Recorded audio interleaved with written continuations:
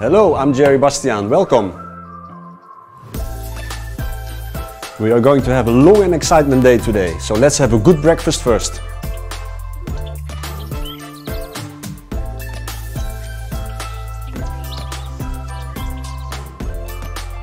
Allez, bye. The Mini Electric for me brings a lot of convenience. Not have to go to a petrol station anymore. I'm charging at home, so that's really cool.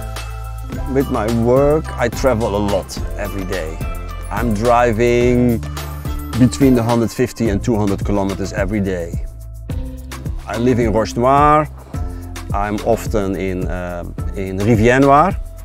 With the range of the car, you can drive all over the island. You can drive twice around the island without being having to bother or think I'm running out of, uh, of electricity. So a relatively small island makes it even more convenient to have an electric car. I love about my Mini, I have Apple CarPlay in there and that's such a cool, cool thing.